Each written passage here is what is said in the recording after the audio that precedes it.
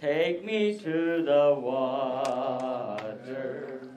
Take me to the water. Take me to the water to be baptized.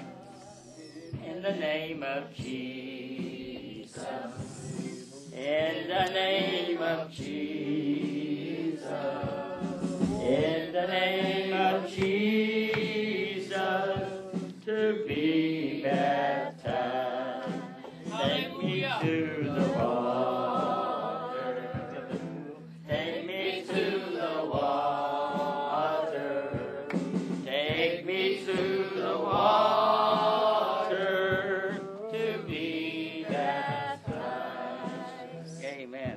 Lord, I just pray right now for my dear sister. Thank you, Lord, for this commitment, for this plan of God that she's obeying today.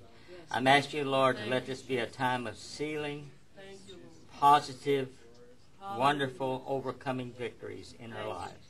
Let this be a time of refreshing testimonies that are beginning, that will unfold through the years of her life and make her a witness that the power of God does make a difference in a human life. We give you praise for this wonderful time that we're about to experience right now.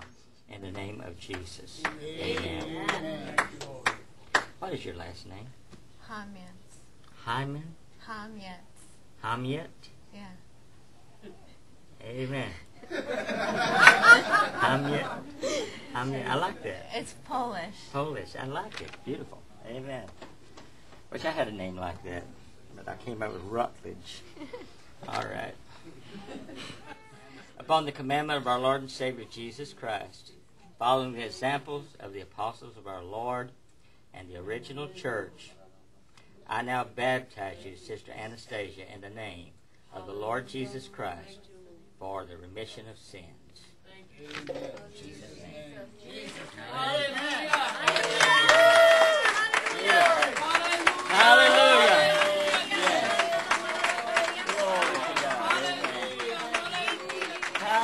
Beautiful. Amen. Hallelujah. Thank you, Jesus. Hallelujah. Well, victory is mine. Victory is mine. Victory